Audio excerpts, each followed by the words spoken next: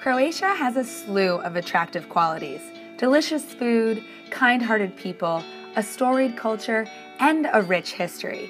But if I had to choose just one thing that embodies what Croatia is to me, it'd be her incredible natural beauty. With the United States Tour Operators Association, I traveled to three regions in Croatia, and each one literally took my breath away. In Istria, the hills rolled in green majesty. On the Dalmatian Islands, steep sun kissed mountains curved down to the impossibly blue sea. And in Split, an ancient city was dramatically positioned between the craggy snow capped mountains and the Adriatic. Each region met me with a different but uniquely powerful natural terrain that colored each day. Whether biking with United States Tour Operators Association member VBT bicycling and walking vacations, or just exploring by foot. With the sea breeze in your hair, it's hard not to fall head over heels in love with the raw beauty of Croatia. The most scenic stretches of bike paths, the most charming towns, and just the most incredible slice of life experiences while on the Dalmatian islands of Brač and Hvar. Brač has a rugged nature and an authentic culture. Old customs are still alive here. As we explored by bike, we passed lavender scented fields, olive groves clinging to mountaintops, and cruised in incredible towns like Pučišća, which was my favorite.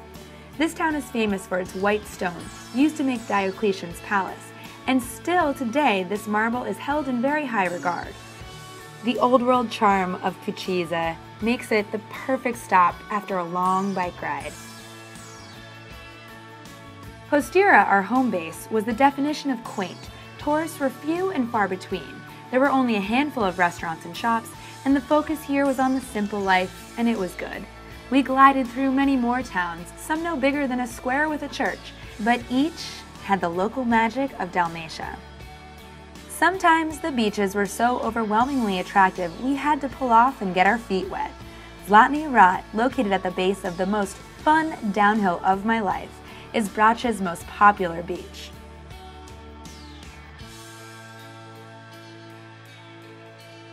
I didn't know heaven could exist on Earth. Just a short boat ride away, the world renowned island of Hvar lives up to its reputation as a posh destination. It equaled Brač with its alluring waters, vibrant hillsides, and small town charm. The town of Hvar was built on the hills surrounding a majestic harbor filled with stunning sailboats and yachts. The town itself seemed to have almost organically sprung up around this glorious water. A fort crested the top of the hill and had the best vantage point over the city. Ferries transport passengers to and from these islands, and a major hub is the portside city of Split. A hike up Marjan Hill displayed the massive mountain range that lay just behind the city, sloping down to the sea. With this location, it was no wonder that Split has been a prominent settlement dating back to BC. The city surrounds Diocletian's palace, and the ancient walls were filled with life farmers markets, fish markets, and other local vendors, all bustling along the cafe filled promenades and narrow alleys. And a huge part of the landscape of Split is the actual ocean, which the locals and the tourists couldn't seem to get enough of, especially at sunset. For miles and miles, all you can see in Istria is lush virgin countryside, dabbled with hilltop towns.